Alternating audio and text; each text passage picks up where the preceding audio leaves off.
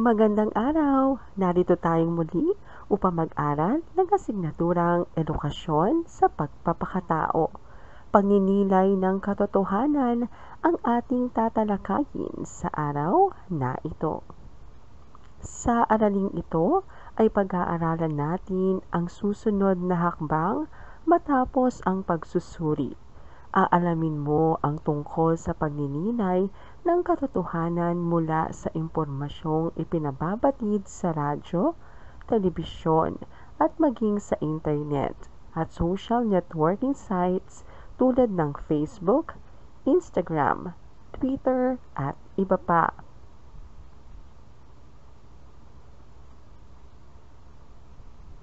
Alam mo ba, Maki, pwede na tayo maglaro sa labas wala ng COVID-19.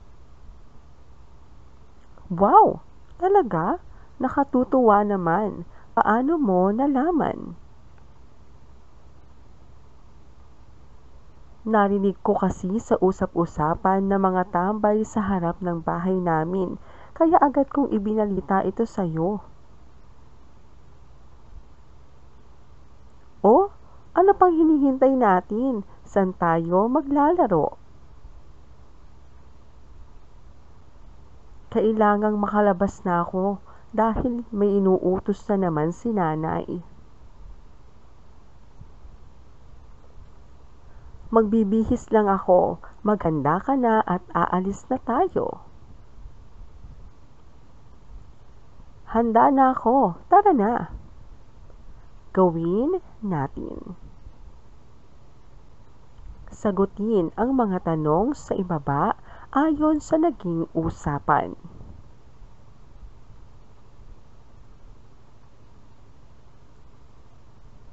Ano ang sinabi ni Arnel sa kaibigang si Maki? Ibinalita ni Arnel kay Maki na pwede na raw silang lumabas at maglaro dahil wala ng COVID-19.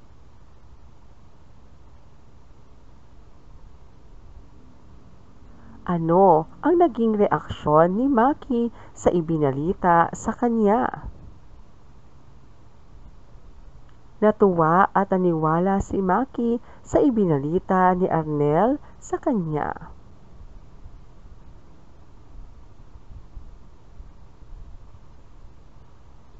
Saan nakuha ni Arnel ang balita na pwede nang lumabas? Nakuha ni Arnel ang balita na pwede nang lumabas sa mga tambay na nag-uusap sa harap ng kanilang bahay.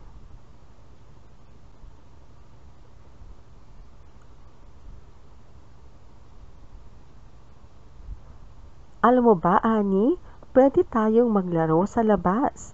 Wala ng COVID-19. Talaga?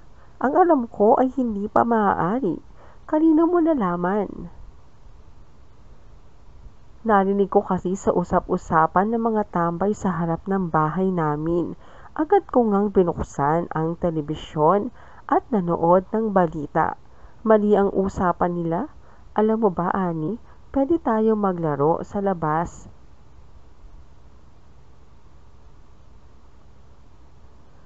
Mabuti naman at nanood ka ng balita. Nagtaka nga ako nang marinig ko ang sinabi mo ay agad kong naisip yung binasa ko sa dyaryo. Mabuti na lang na hindi ako agad naniwala sa kanila. At ako naman ay nag-isip muna kung maniniwala sa iyo dapat talagang mag-isip muna tayo bago maniwala. Tama, magbasa, manood o makinig ng balita at pagnilayan ang mga ito. Ano ang sinabi ni Marie sa kaibigang si Annie? Ibinalita ni Marie kay Annie na pwede na raw silang lumabas at maglaro dahil wala ng COVID-19.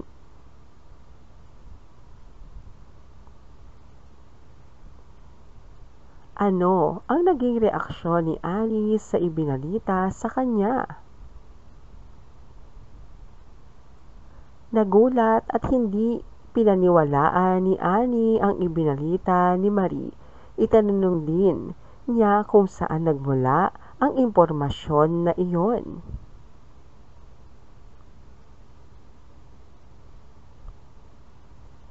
Saan nakuha ni Marie ang balita na pwede nang lumabas?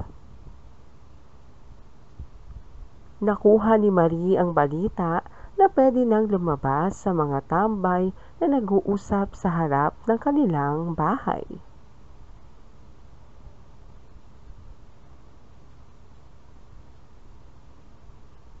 Gawin natin. Sagutin ang mga tanong sa ibaba ayon sa dalawang usapan.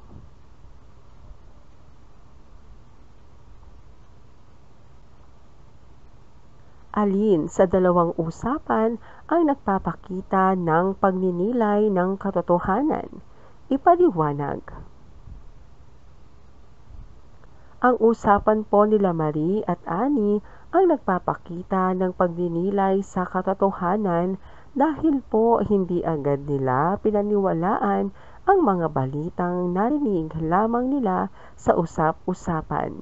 Sila po ay nagtanong at nanood ng mga balita na magbibigay ng tamang impormasyon sa kanila.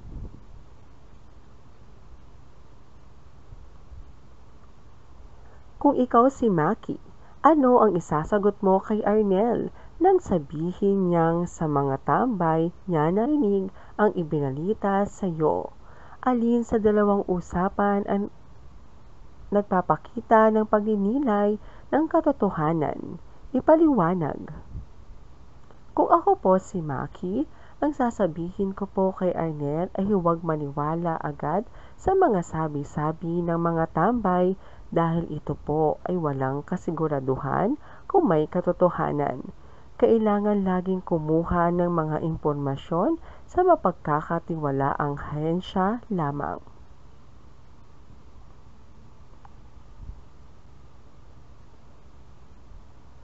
Tama ba ang ginawa ni Marie na nanood ng telebisyon matapos marinig sa mga tambay ang balita? Bakit?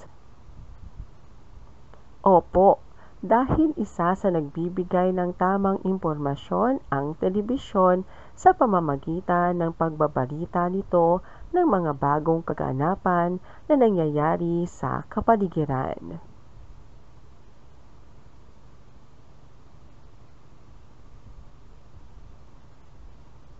Kumakalat na ang balita sa social media at sa iba't ibang panig ng bansa na madaragdagan na ang kasalukuyang buwan ng isa pa. Nangangahulugan ito na dalawa na ang makikita nating buwan na lalabas tuwing gabi simula bukas, Setyembre 11, 2025. Ayon sa isang source o pinagmula ng kwento, nabasa niya ito sa Facebook ng nangangalang Abner. Nang tanungin siya ay sinabi niyang nakausap niya ang isang lalaki na nakitang nakaupo sa ilalim ng isang mayabong na puno. Matapos nito ay agad siyang nag-post at ito naman ay isinare ng iba pang gumagamit ng nasabing social networking site.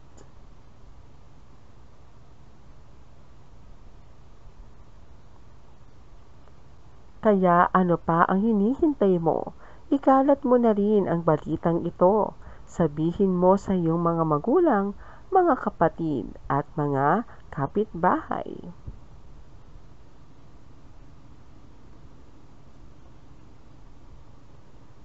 Tungkol saan ang balita? Ang balita ay tungkol po sa buwan na magiging dalawa na.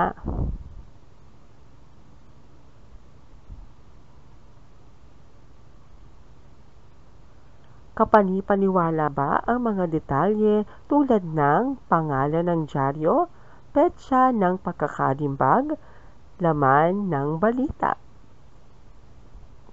Hindi po kapanipaniwala ang mga detalye at laman ng balita.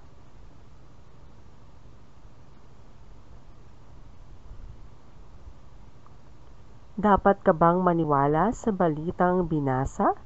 Mga tuwiran.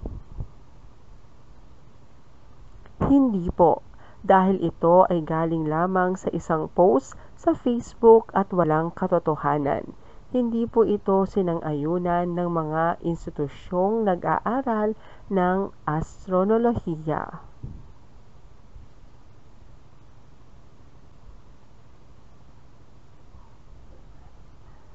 Anong katangian ang dapat taglayin ng isang tulad mo kung makababasa ng balitang tulad nito? Dapat pong maging mapanuri, i-report ang mga post na ito dahil ito po ay nagbibigay ng mga maling impormasyon. Huwag din pong ibahagi sa mga social networking site dahil ito po ay lilikha ng kalituhan.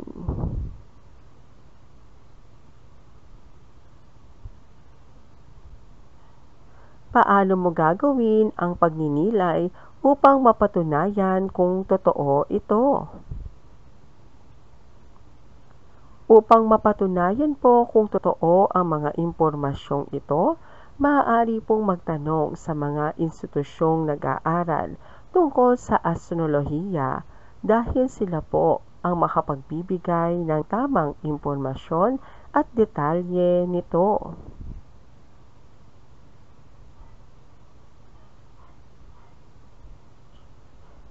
Gawin natin. Unawain ang bawat sitwasyon. Lagyan ng check ang patlang kung ang nakasaad ay pagpapakita ng pagninilay ng katotohanan. Lagyan naman ng X kung hindi.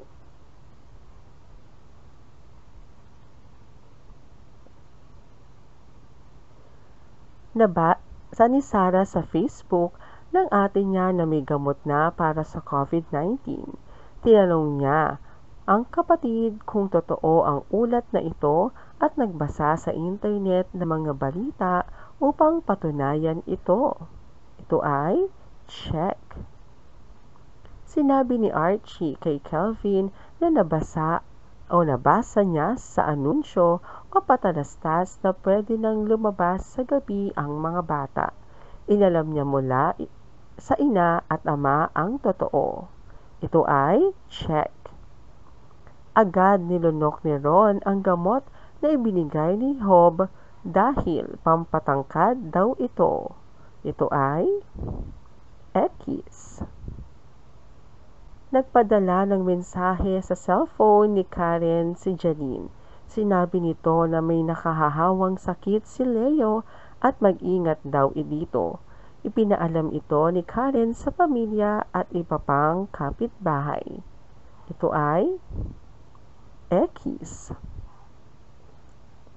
Hindi na binuklat ni Trina ang module sa ESP dahil sabi ni Lovey ay mahirap daw ang mga aralin at gawain. Ito ay X. Gawin natin mag-isip ng isang karanasan na napaniwala ka sa maling impormasyon. Anong gagawin mo sakaling maulit ito?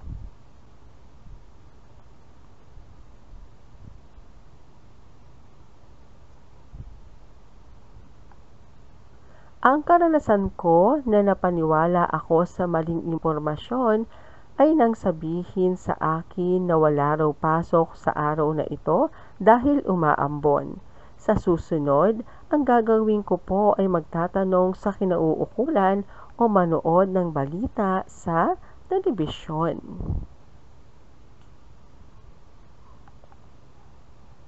Gawin natin.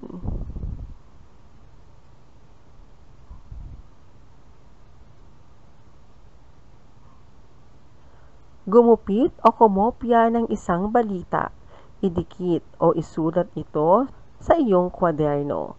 Ibigay ang mga impormasyong hinihingi sa ibaba.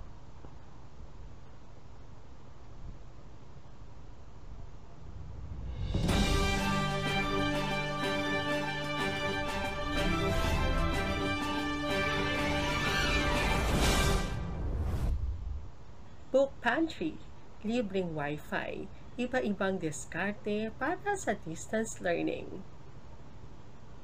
Sa unang linggo ng balik eskwela sa mga pampublikong paaralan, kanya-kanyang paraan ang ginagawa sa iba-ibang lugar sa bansa para patuloy ang pag-aaral ng mga estudyante sa gitna ng pandemya.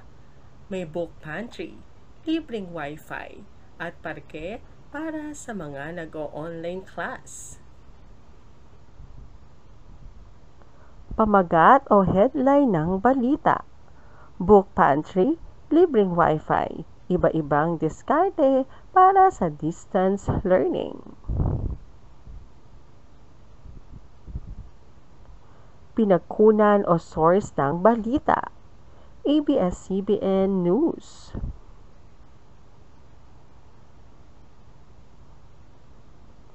Petsa ng pagkakalimbag. Setyembre 19, 2021.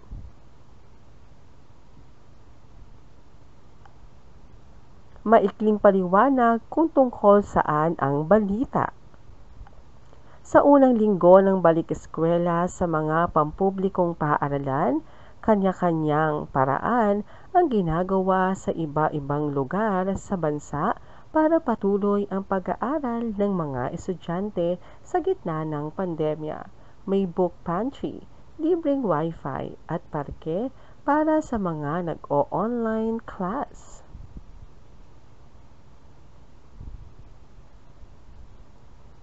Pasya kung katotohanan ba ito o hindi at ang paliwanag. Ang balitang ito ay katotohanan dahil ito ang aming nararanasan. Madaming mga diskarte ang mga paaralan at lokal na pamahalaan upang maihitid pa rin ang edukasyon sa bawat tahanan.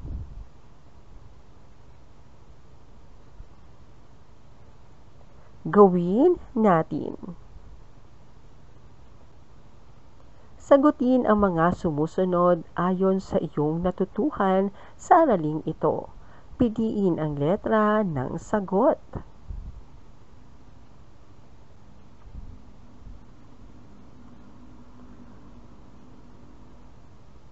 ang malalimang pag-unawa sa mga impormasyon sa pamamagitan ng pag-iisip kung tama ang mga ito ay tinatawag na A. Pagninilay B. Paniniwala C. Pagsang-ayon D. Pagtatanong Ang tamang sagot ay A. Masasabing ang mga impormasyong nagmumula sa radyo, dyaryo, telebisyon at social networking sites ay A. Tama sapagkat masusing sinuri ang mga ito. B.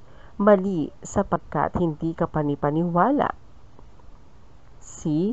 Tama sapagkat madali lang makakuha ng impormasyon dito. D. Maaaring tama o mali kailangan mong pagnilayan muna. Ang tamang sagot ay D.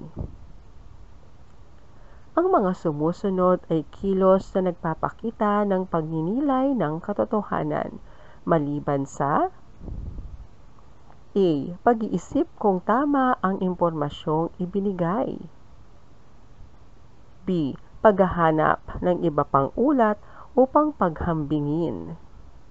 C agarang pagsang-ayon sa unang marinig o mabasa.